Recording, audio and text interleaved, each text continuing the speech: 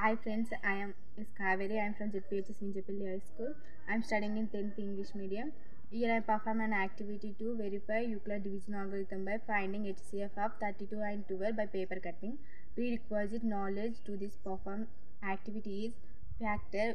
A number which evenly divides into another number is known as factor is that number.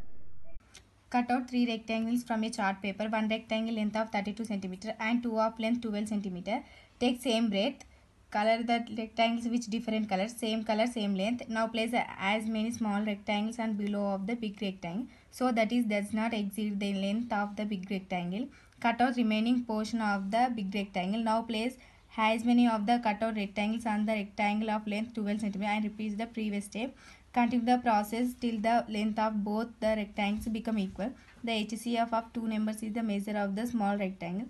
When the lengths become equal, the HCF are 4 cm. Thank you for giving this wonderful opportunity.